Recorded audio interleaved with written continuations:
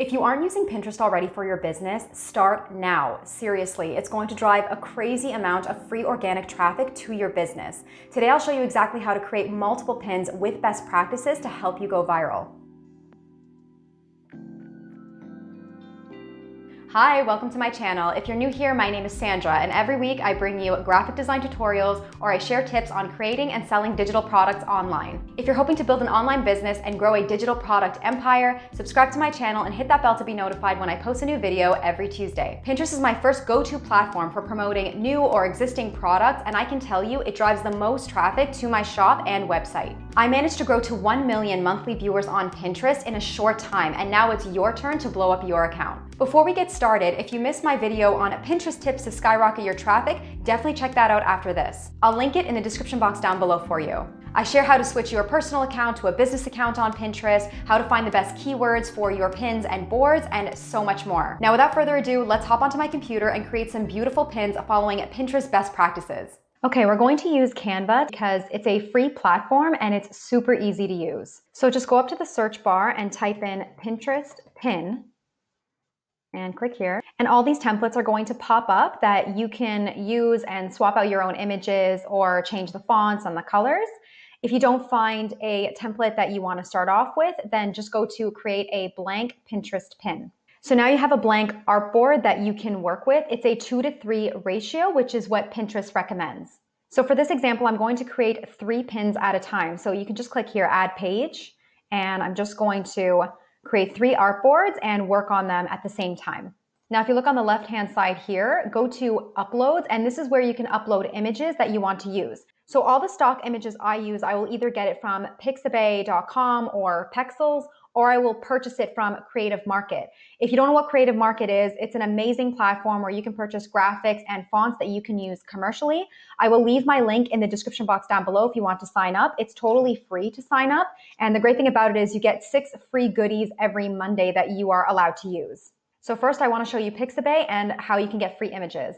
So this is what it looks like. I'm just gonna type in the search bar here, desk flat lay. So scroll through these and see if there's any that you would like and that you want to use for your pin. So for example, if I wanted this one, I would just click free download or right click and save image as, and then I will upload it onto Canva.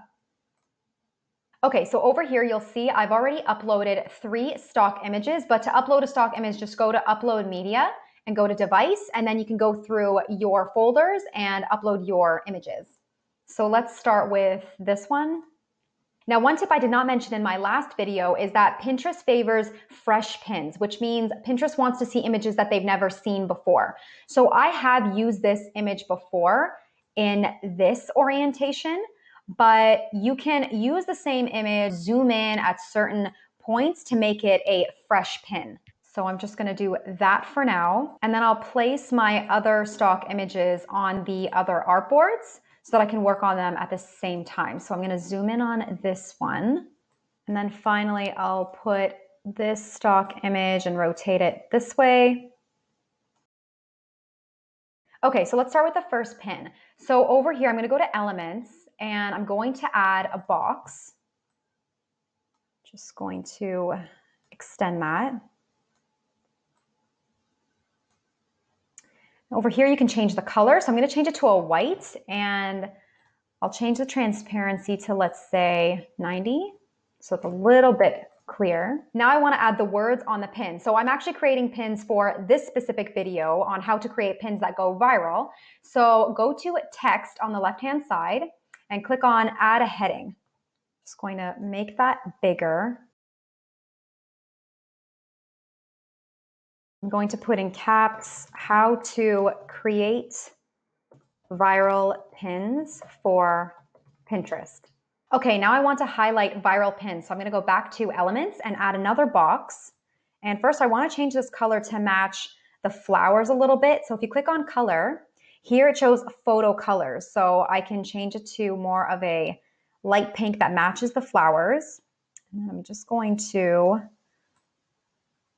make it smaller here and then send it behind viral pin. So right click and click on send backward. Okay, so what I like about this pin is that the words are very bold and it's really important that people can read the words very easily. You can add some script fonts in there and sometimes I do, but I find that the more clear the words are and pretty the image is, the more clickable and shareable they are. Okay, so let's go to my second fresh pin. This time I'm going to add the words in the white space down here. So go back to text, add a heading, and this time I'm going to write how to go viral on Pinterest. I do switch up the words usually because I want to add some variety to my pins. Okay, this time I will make Pinterest a script font, but still very legible. So I'll go with this one here. And this time I want to add a pink watercolor behind Pinterest. So go to Elements, scroll down and find Gradients.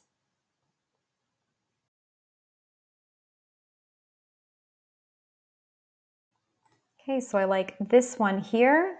It's very light and subtle. Just going to extend it and right click, send to back. Okay, so something just super clean and simple like that. And then this one here, I'm going to type in the middle, so go to text and add a heading. And for this one, I'll put how to create pins in Canva. And I'm going to add another box behind this one.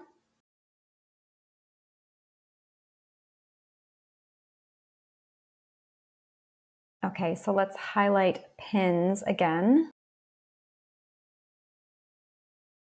And there you have it. I just created three pins with Canva. All you have to do at the top here, just go to download and click on JPEG, and then it will download all three of these pins for you. So the most important things to note here is make sure that you are using vertical pins, so two to three ratio. Make sure you're creating a lot of fresh pins, so different images, maybe different stock photos, zoom in and out of the stock photos, change up the words, the colors, maybe even the fonts and try to stick within your color palette of your brand. So for example, my brand is very girly, so I use a lot of pinks, golds, maybe a little bit of greenery. So make sure it's super cohesive to your Pinterest pins and boards. Definitely play around with Canva and see what you can come up with and just start creating and pinning. Also, again, make sure to check out my last video talking all about keywords to just make sure that you are ranking. Also, a tip for you, when you save your images, make sure that you title them with keywords that you've done research for. So again, check out my video on how to do your keyword research and make sure you're using keywords in those files because I believe in using keywords everywhere to help you get ranked and found. So now you know how to create beautiful shareable pins for your Pinterest account. But what about staying consistent with your pinning schedule and finding the right keywords to rank higher in search? I've created this free guide here that will help you grow your business with Pinterest, which I will link for you in the description box down below so you can go ahead and grab your copy. Next, I recommend you check out my video on how to use Pinterest to drive traffic to your shop, followed by my video on how to enable and create rich pins. If you found this video helpful, hit that like button and don't forget to subscribe before you go. Thank you so much for watching and I will see you next time, guys. Bye.